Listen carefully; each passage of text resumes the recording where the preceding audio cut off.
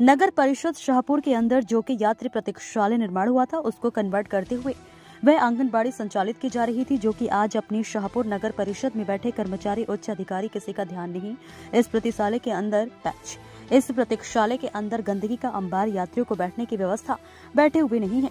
नगर परिषद शाहपुर के अंदर अन्य कर्मचारियों का ध्यान नहीं है, जिससे आने जाने वाले राहगीरों को काफ़ी परेशानियों का सामना करना पड़ता है। उसका खामियाजा प्रतीक्षालय में आने वाले यात्रियों को भुगतना पड़ता है। कर्मचारी अधिकारी इस ओर ध्यान देंगे। अगर इस ओर ध्यान नहीं दिया गया तो आने वाला समय बीमारियों को न्यौता देगा।